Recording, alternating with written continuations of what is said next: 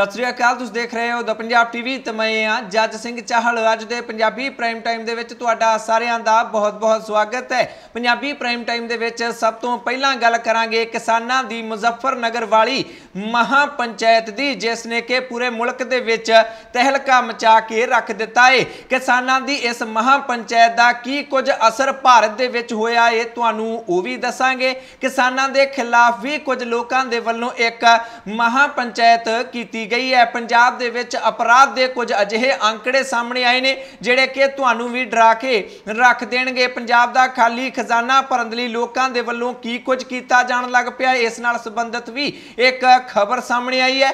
ਅਧਿਆਪਕ ਦਿਵਸ ਲੀਡਰਾਂ ਨੇ ਕਿਵੇਂ ਮਨਾਇਆ ਹੈ ਅਤੇ ਅਸਲੀ ਅਧਿਆਪਕਾਂ ਨੇ ਇਹ ਦਿਵਸ ਕਿਵੇਂ ਮਨਾਇਆ ਇਹ ਤੁਹਾਨੂੰ ਸਾਰਾ ਕੁਝ ਦੱਸਣ ਜਾ ਰਹੇ ਹਾਂ। ਪਰ ਸਭ ਤੋਂ ਪਹਿਲਾਂ ਸ਼ੁਰੂਆਤ ਕਰਦੇ ਹਾਂ ਕਿਸਾਨਾਂ ਦੀ ਮਹਾ ਪੰਚਾਇਤ ਤੋਂ ਉੱਤਰ ਪ੍ਰਦੇਸ਼ ਦੇ ਮੁਜ਼ੱਫਰਨਗਰ ਦੇ ਵਿੱਚ 5 ਸਤੰਬਰ ਨੂੰ ਕਿਸਾਨਾਂ ਦੇ ਵੱਲੋਂ ਇੱਕ ਵੱਡੀ ਮਹਾ ਪੰਚਾਇਤ ਕੀਤੀ ਜਾਵੇਗੀ। ਇਹ ਬਹੁਤ ਵੱਡਾ ਐਲਾਨ ਕਿਸਾਨਾਂ ਦੇ ਵੱਲੋਂ ਕੀਤਾ ਗਿਆ ਸੀ ਅਤੇ 5 ਸਤੰਬਰ ਦਾ ਦਿਨ ਜਦੋਂ ਆਇਆ ਤਾਂ ਪੂਰੇ ਦੇਸ਼ ਦੇ ਵਿੱਚ ਇਸ ਮਹਾ ਪੰਚਾਇਤ ਨੇ ਤਹਿਲਕਾ ਮਚਾ ਕੇ ਰੱਖ ਦਿੱਤਾ। ਹਾਲਾਂਕਿ ਬਹੁਤ ਸਾਰੇ ਵੱਡੇ ਵੱਡੇ ਦਾਅਵੇ ਕਿਸਾਨ ਆਗੂਆਂ ਦੇ ਵੱਲੋਂ ਇਸ ਮਹਾ ਪੰਚਾਇਤ ਨੂੰ ਲੈ ਕੇ ਪਹਿਲਾਂ ਤੋਂ ਹੀ ਕੀਤੇ ਜਾ ਰਹੇ ਸਨ, ਪਰ ਸੋਚਿਆ ਜਾ ਰਿਹਾ ਸੀ ਕਿ ਦਾਅਵੇ ਕੁਝ ਜ਼ਿਆਦਾ ਹੀ ਵੱਡੇ ਕੀਤੇ ਜਾ ਰਹੇ ਨੇ। ਇਹਨਾਂ ਇਕੱਠ ਮੁਜ਼ੱਫਰਨਗਰ ਦੇ ਵਿੱਚ ਨਹੀਂ ਹੋ ਸਕਦਾ ਹੈ ਕਿਉਂਕਿ ਯੂਪੀ ਦੇ ਵਿੱਚ ਯੋਗੀ ਸਰਕਾਰ ਹੈ ਅਤੇ ਬੀਜੇਪੀ ਦਾ ਗੜ ਉੱਤਰ ਪ੍ਰਦੇਸ਼ ਨੂੰ ਮੰਨਿਆ ਜਾਂਦਾ ਹੈ ਪਰ ਇਸ ਦੇ ਬਾਵਜੂਦ ਜਦੋਂ ਮਹਾ ਪੰਚਾਇਤ ਕਿਸਾਨਾਂ ਦੇ ਵੱਲੋਂ ਸੱਦੀ ਗਈ ਤਾਂ 4 ਸਤੰਬਰ ਦੀ ਰਾਤ ਨੂੰ ਹੀ ਜਿਸ ਗਰਾਊਂਡ ਦੇ ਵਿੱਚ ਜਿਸ ਨੂੰ ਕਿ ਜੀਆਈਸੀ ਗਰਾਊਂਡ ਕਿਹਾ ਜਾਂਦਾ ਹੈ ਮੁਜ਼ੱਫਰਨਗਰ ਦੀ, ਉਹ ਰਾਤ ਨੂੰ ਹੀ ਭਰਨੀ ਸ਼ੁਰੂ ਹੋ ਗਈ ਸੀ। ਅੱਧਿਓਂ ਜ਼ਿਆਦਾ ਉਹ ਗਰਾਊਂਡ 4 ਸਤੰਬਰ ਦੀ ਰਾਤ ਨੂੰ ਹੀ ਭਰ ਗਈ ਸੀ ਅਤੇ 5 ਸਤੰਬਰ ਨੂੰ ਸਵੇਰ ਚੜਦਿਆਂ ਸਾਰ ਹੀ ਉਹ ਸਾਰੀ ਗਰਾਊਂਡ ਫੁੱਲ ਹੋ ਗਈ ਸੀ। ਇੱਥੇ ਕਾਫੀ ਕਮੀਆਂ ਵੀ ਵੇਖਣ ਨੂੰ ਮਿਲੀਆਂ, ਕਿਉਂਕਿ ਰਕੇਸ਼ ਟਕੈਤ ਦੀ ਭਾਰਤੀ ਕਿਸਾਨ ਯੂਨੀਅਨ ਦੇ ਉੱਪਰ ਸਾਰਾ ਪ੍ਰਬੰਧ ਕਰਨ ਦੀ ਜ਼ਿੰਮੇਵਾਰੀ ਸੀ, ਪਰ ਉਹ ਪੂਰੇ ਤਰੀਕੇ ਨਾਲ ਪ੍ਰਬੰਧ ਇੱਥੇ ਨਹੀਂ ਕਰ ਸਕੇ, ਕਿਉਂਕਿ ਜਿੰਨੇ ਸੂਬਿਆਂ ਦੇ ਵਿੱਚ ਉਹਨਾਂ ਨੇ ਸੱਦਾ ਭੇਜਿਆ ਸੀ, ਪੂਰੇ ਮੁਲਕ ਦੇ ਵਿੱਚ ਉਹਨੇ ਪੱਧਰ ਤੇ, ਵੱਡੇ ਪੱਧਰ ਤੇ ਇੱਥੇ ਇੰਤਜ਼ਾਮ ਨਹੀਂ ਕੀਤਾ ਜਾ ਸਕਿਆ ਸੀ। ਜਿੰਨਾ ਤਗੜਾ ਪੰਡਾਲ ਲਾਇਆ ਗਿਆ ਸੀ, ਉਹ ਪੰਡਾਲ ਸਵੇਰੇ 9 ਵਜੇ ਤੱਕ ਹੀ ਭਰ ਗਿਆ ਸੀ, ਜਦ ਕਿ 10 ਵਜੇ ਤੋਂ ਬਾਅਦ ਰਸਮੀ ਤੌਰ ਤੇ ਮਹਾ ਪੰਚਾਇਤ ਦੀ ਕਾਰਵਾਈ ਸ਼ੁਰੂ ਕੀਤੀ ਗਈ ਸੀ। ਇਸ ਕਰਕੇ ਕਿਸਾਨਾਂ ਨੂੰ ਜਿੱਥੇ ਵੀ ਕਿਤੇ ਖਲੋਣ ਦੀ, ਬੈਠਣ ਦੀ ਜਗ੍ਹਾ ਮਿਲੀ, ਉਹਨਾਂ ਨੇ ਉੱਥੇ ਹੀ ਖਲੋ ਬੈਠ ਕੇ ਇਸ ਮਹਾ ਪੰਚਾਇਤ ਦੇ ਨਜ਼ਾਰੇ ਨੂੰ ਵੇਖਿਆ। ਪੂਰੇ ਮੁਲਕ ਦੇ ਮੀਡੀਆ ਦੇ ਵੱਲੋਂ ਇਸ ਮਹਾ ਪੰਚਾਇਤ ਨੂੰ ਕਵਰ ਕੀਤਾ ਗਿਆ ਹੈ ਭਾਵੇਂ ਉਹ ਮੋਦੀ ਸਰਕਾਰ ਦਾ ਮੀਡੀਆ ਹੋਵੇ, ਭਾਵੇਂ ਉਹ ਨਿਊਟਰਲ ਮੀਡੀਆ ਹੋਵੇ, ਜਿਹੜਾ ਕਿ ਨਿਰਪੱਖ ਤਰੀਕੇ ਨਾਲ ਖਬਰਾਂ ਦਿਖਾਉਂਦਾ ਹੈ ਸਾਰਾ ਹੀ ਮੀਡੀਆ ਇੱਥੇ ਪਹੁੰਚਿਆ ਹੋਇਆ ਸੀ, ਮੋਦੀ ਸਰਕਾਰ ਦੇ ਸਰਕਾਰੀ ਮੀਡੀਆ ਦੇ ਵੱਲੋਂ ਇਸ ਨੂੰ ਇੱਕ ਵਾਰ ਫਿਰ ਤੋਂ ਰਾਜਨੀਤਿਕ ਇਕੱਠ ਦੱਸਿਆ ਗਿਆ। ਨਿਰਪੱਖ ਮੀਡੀਆ ਨੇ ਇਸ ਨੂੰ ਮੋਦੀ ਸਰਕਾਰ ਦੇ ਖਿਲਾਫ ਇੱਕ ਵੱਡੇ ਅੰਦੋਲਨ ਦੀ ਇੱਕ ਨਵੀਂ ਸ਼ੁਰੂਆਤ ਦੱਸਿਆ ਹੈ। ਇਸ ਮੌਕੇ ਬਹੁਤ ਸਾਰੇ ਕਿਸਾਨਾਂ ਦੇ ਵੱਲੋਂ ਸੰਬੋਧਨ ਕੀਤਾ ਗਿਆ, ਜਿਸ ਦੇ ਵਿੱਚ ਮੁੱਖ ਤੌਰ ਤੇ ਰਕੇਸ਼ ਟਕੈਤ, ਕਿਉਂਕਿ ਸਾਰੀ ਜ਼ਿੰਮੇਵਾਰੀ ਉਹਨਾਂ ਦੇ ਮੋਢਿਆਂ ਤੇ ਹੀ ਸੀ ਕਿ ਯੂਪੀ ਤੋਂ ਉਹ ਕਿਸਾਨ ਨੇਤਾ ਨੇ।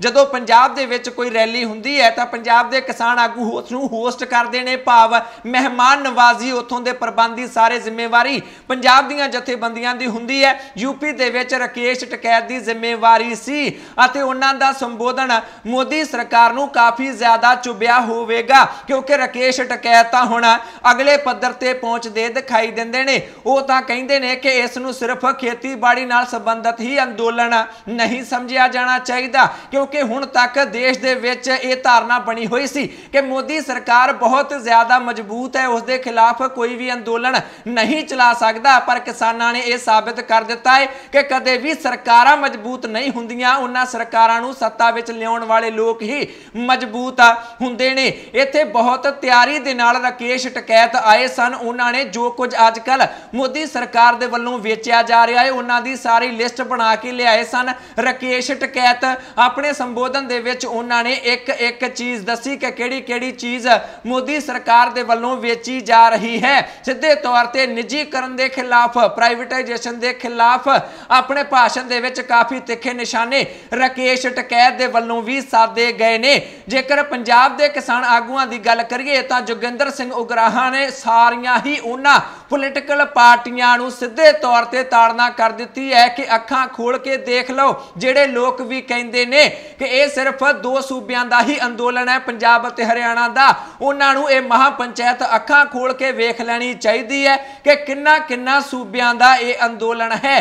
ਕਿਸਾਨਾਂ ਦੇ ਵੱਲੋਂ ਦਾਵਾ ਕੀਤਾ ਜਾ ਰਿਹਾ ਹੈ ਕਿ ਭਾਵੇਂ ਅਸੀਂ ਸਾਰੇ ਮੁਲਕ ਦੇ ਵਿੱਚ ਹੀ ਸੂਬਿਆਂ ਨੂੰ ਸੱਦਾ ਭੇਜਿਆ ਸੀ ਪਰ 22 ਦੇ ਕਰੀਬ ਸੂਬਿਆਂ ਤੋਂ ਇੱਥੇ ਕਿਸਾਨ ਪਹੁੰਚੇ ਹੋਏ ਨੇ ਅਤੇ ਕੋਸ਼ਿਸ਼ ਕੀਤੀ ਗਈ ਹੈ ਕਿ ਹਰ ਇੱਕ ਸੂਬੇ ਦੇ ਇੱਕ ਇੱਕ ਨੁਮਾਇੰਦੇ ਨੂੰ ਇੱਥੇ ਬੋਲਣ ਦਾ ਮੌਕਾ ਜ਼ਰੂਰ ਦਿੱਤਾ ਜਾਵੇ। ਆਪਣੀਆਂ ਆਪਣੀਆਂ ਲੋਕਲ ਭਾਸ਼ਾਵਾਂ ਦੇ ਵਿੱਚ, ਖੇਤਰੀ ਭਾਸ਼ਾਵਾਂ ਦੇ ਵਿੱਚ ਭਾਸ਼ਣ ਇੱਥੇ ਕਿਸਾਨ ਆਗੂਆਂ ਦੇ ਵੱਲੋਂ ਦਿੱਤੇ ਗਏ ਨੇ। ਜਿਵੇਂ ਗੱਲ ਕਰੀਏ ਪੰਜਾਬ ਦੀ, ਤਾਂ ਪੰਜਾਬ ਦੇ ਕਈ ਕਿਸਾਨ ਆਗੂਆਂ ਨੇ ਪੰਜਾਬੀ ਵਿੱਚ ਯੂਪੀ ਦੇ ਵਿੱਚ ਭਾਸ਼ਣ ਦਿੱਤਾ। ਜਿਹੜੇ ਸਾਊਥ ਦੇ ਸੂਬਿਆਂ ਤੋਂ ਆਏ ਸਨ, ਉਹਨਾਂ ਦੇ ਵੱਲੋਂ ਆਪਣੀਆਂ ਭਾਸ਼ਾਵਾਂ ਦੇ ਵਿੱਚ ਭਾਸ਼ਣ ਦਿੱਤਾ ਗਿਆ।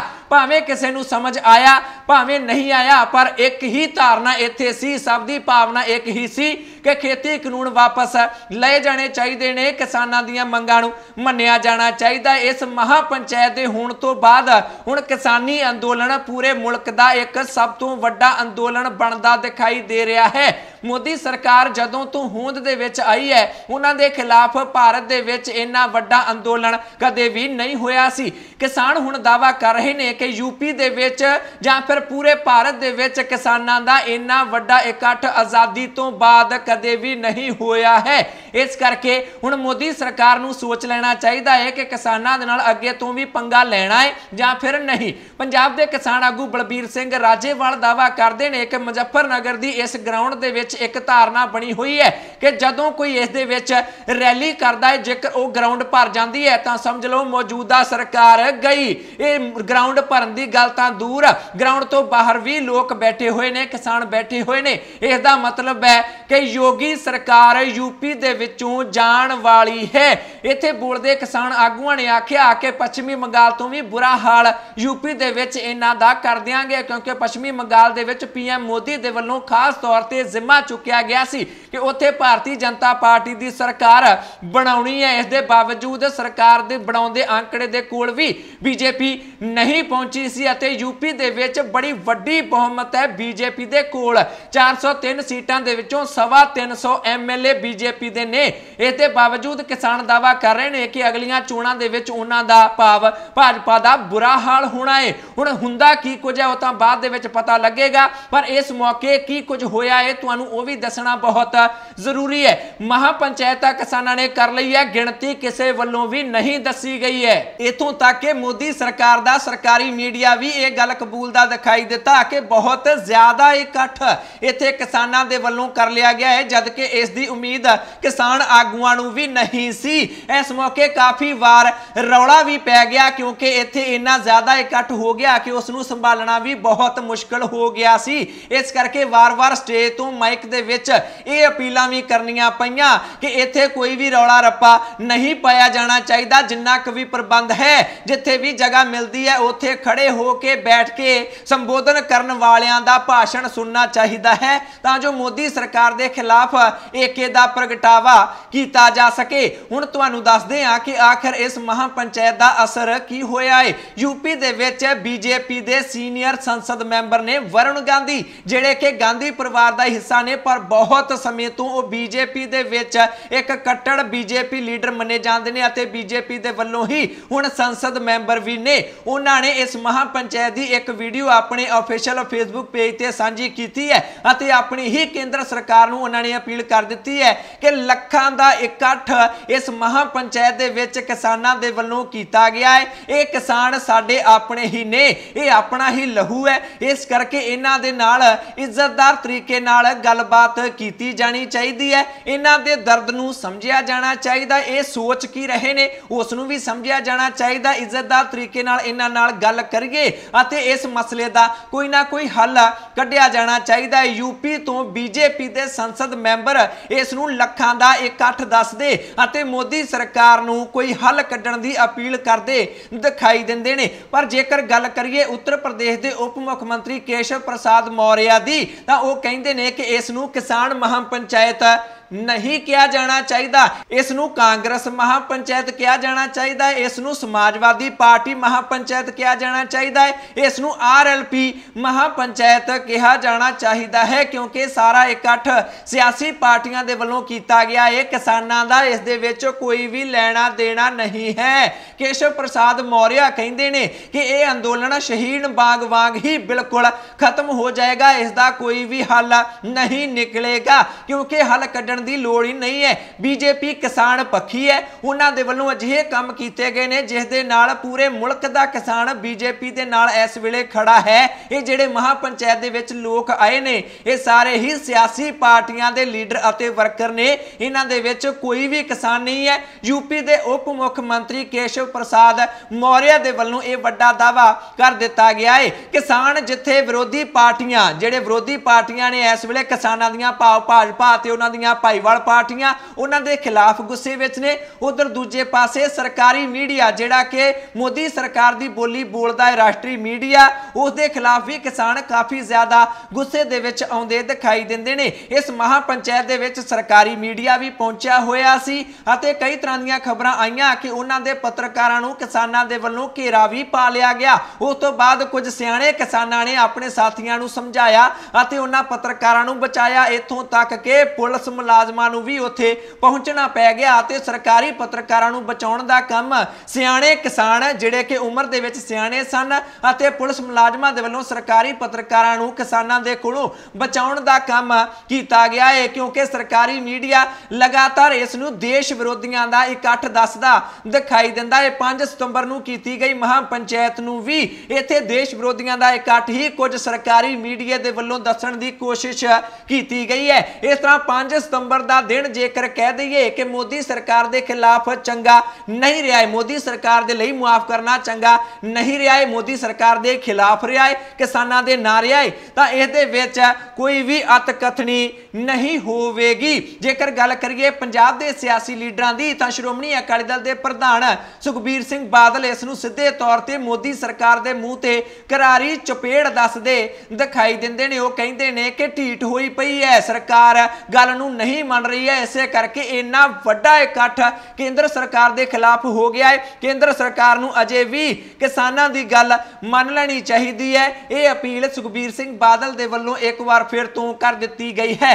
ਰਾਹੁਲ ਗਾਂਧੀ ਨੇ ਵੀ ਪੋਸਟ ਪਾਈ ਹੈ ਕਿਸਾਨਾਂ ਦੇ ਪੱਖ ਦੇ ਵਿੱਚ ਇਸ ਮਹਾਪੰਚਾਇਤ ਨੂੰ ਲੈ ਕੇ ਅਤੇ ਮੋਦੀ ਸਰਕਾਰ ਦੇ ਖਿਲਾਫ ਉਹਨਾਂ ਦੇ ਵੱਲੋਂ ਵੀ ਇੱਕ ਫੇਸਬੁੱਕ ਤੇ ਪੋਸਟ ਪਾਈ ਗਈ ਹੈ। ਟਵਿੱਟਰ ਤੇ ਵੀ ਹੈਸ਼ਟੈਗ ਕਿਸਾਨਾਂ ਦੇ ਪੱਖ ਦੇ ਵਿੱਚ ਟ੍ਰੈਂਡ ਕਰਦੇ ਦਿਖਾਈ ਦਿੱਤੇ। ਅੱਗੇ ਵਧਦੇ ਹਾਂ, ਜੇਕਰ ਮੁਜ਼ੱਫਰਨਗਰ ਦੇ ਵਿੱਚ ਮਹਾਪੰਚਾਇਤ ਕਿਸਾਨਾਂ ਦੇ ਵੱਲੋਂ ਕੀਤੀ ਗਈ ਹੈ, ਤਾਂ ਸੋਨੀਪਤ ਦੇ ਪਿੰਡ ਨੰਗਲ ਦੇ ਵਿੱਚ ਕਿਸਾਨਾਂ ਦੇ ਖਿਲਾਫ ਵੀ 15 ਪਿੰਡਾਂ ਦੇ ਲੋਕਾਂ ਦੇ ਵੱਲੋਂ ਇੱਕ ਮਹਾਪੰਚਾਇਤ ਕੀਤੀ ਗਈ ਹੈ। ਖਬਰਾਂ ਦੇ ਮੁਤਾਬਕ ਹਰਿਆਣਾ ਦੇ ਸੋਨੀਪਤ ਦਾ ਇੱਕ ਪਿੰਡ ਹੈ ਨੰਗਲ ਕਲਾਂ ਉਸ ਦੇ ਵਿੱਚ ਲਗਭਗ 15 ਪਿੰਡਾਂ ਦੇ ਲੋਕ ਇਕੱਤਰ ਹੋਏ ਕਿਸਾਨਾਂ ਦੇ ਖਿਲਾਫ। ਉਹ ਕਹਿੰਦੇ ਨੇ ਕਿ ਸਿੰਘੂ ਬਾਰਡਰ ਤੇ ਜਿਹੜਾ ਧਰਨਾ ਕਿਸਾਨਾਂ ਦੇ ਵੱਲੋਂ ਲਾਇਆ ਗਿਆ ਹੈ, ਉਸ ਦੇ ਨਾਲ ਸਾਡੇ ਕਾਰੋਬਾਰ ਠੱਪ ਹੋ ਗਏ ਨੇ ਸੜਕਾਂ। ਬੰਦ ਪਈਆਂ ਨੇ। ਅਸੀਂ ਬਰਬਾਦ ਹੋਣ ਦੀ ਕਗਾਰ ਤੇ ਆ ਗਏ ਆ ਇਸ ਕਰਕੇ ਕਿਸਾਨਾਂ ਨੂੰ ਸਿੰਘੂ ਬਾਰਡਰ ਖਾਲੀ ਕਰ ਦੇਣਾ ਚਾਹੀਦਾ ਹੈ। ਇੱਕ ਵੱਡਾ ਇਕੱਠ ਇੱਥੇ ਲੋਕਾਂ ਦੇ ਵੱਲੋਂ ਕੀਤਾ ਗਿਆ ਹੈ। 40 ਪਿੰਡਾਂ ਦੀ ਇੱਕ ਕਮੇਟੀ ਬਣਾ ਦਿੱਤੀ ਗਈ ਹੈ ਅਤੇ ਐਲਾਨ ਕੀਤਾ ਗਿਆ ਹੈ ਕਿ ਜੇਕਰ ਕਿਸਾਨਾਂ ਨੇ ਸਿੰਘੂ ਬਾਰਡਰ ਦਾ ਰਸਤਾ ਨਾ ਖੋਲਿਆ ਬਾਰਡਰ ਨੂੰ ਖਾਲੀ ਨਾ ਕੀਤਾ, ਤਾਂ ਇੱਕ ਹੋਰ ਵੱਡੀ ਮਹਾਪੰਚਾਇਤ ਕੀਤੀ ਜਾਏਗੀ ਅਤੇ ਉਸ ਦੇ ਵਿੱਚ ਕਿਸਾਨਾਂ ਦੇ ਖਿਲਾਫ ਕੋਈ ਨਾ ਕੋਈ ਵੱਡਾ ਫੈਸਲਾ ਲਿਆ ਜਾਵੇਗਾ। ਇਸ ਤਰ੍ਹਾਂ ਇੱਕ ਪਾਸੇ ਜਿੱਥੇ ਕਿਸਾਨ ਆਪਣੀ ਮਹਾਪੰਚਾਇਤ ਪੰਚਾਇਤ ਯੂਪੀ ਦੇ ਵਿੱਚ ਕਰ ਰਹੇ ਸਨ, ਬਿਗਲ ਵਜਾ ਰਹੇ ਸਨ। ਯੂਪੀ ਦੇ ਵਿੱਚ ਭਾਜਪਾ ਦੇ ਖਿਲਾਫ। ਉਧਰ ਦੂਜੇ ਪਾਸੇ ਹਰਿਆਣਾ ਦੇ ਵਿੱਚ ਕੁਝ ਪਿੰਡਾਂ ਦੇ ਲੋਕਾਂ ਦੇ ਵੱਲੋਂ ਕਿਸਾਨਾਂ ਦੇ ਖਿਲਾਫ ਹੀ ਇੱਕ ਮਹਾਪੰਚਾਇਤ ਕੀਤੀ ਜਾ ਰਹੀ ਸੀ। ਅਗਲੀ ਖਬਰ ਦੇ ਵੱਲ ਵਧਦੇ ਹਾਂ। ਮੋਦੀ ਸਰਕਾਰ ਦੇ ਵੱਲੋਂ ਭਾਰਤ ਦੇ ਲੋਕਾਂ ਨੂੰ ਇੱਕ ਰਾਹਤ ਦੇ ਦਿੱਤੀ ਗਈ ਹੈ। ਲਗਾਤਾਰ ਮਹਿੰਗਾਈ ਵਧ ਰਹੀ ਹੈ, ਪਰ ਇਸ ਦੇ ਵਿੱਚ ਇੱਕ ਛੋਟੀ ਜਿਹੀ ਰਾਹਤ ਦੀ ਖਬਰ ਆਈ ਕਿ ਅੱਜ ਪੈਟਰੋਲ ਅਤੇ ਡੀਜ਼ਲ ਦੇ ਰੇਟ ਘਟੇ ਨੇ। ਪੈਟਰੋਲ 10 ਪੈਸੇ ਘਟ ਗਿਆ ਹੈ ਅਤੇ ਡੀਜ਼ਲ ਦੀ ਕੀਮਤ ਦੇ ਵਿੱਚ 15 ਪੈਸੇ ਦਾ ਘਾਟਾ ਤੇਲ ਕੰਪਨੀਆਂ ਦੇ ਵੱਲੋਂ ਕੀਤਾ ਗਿਆ ਹੈ।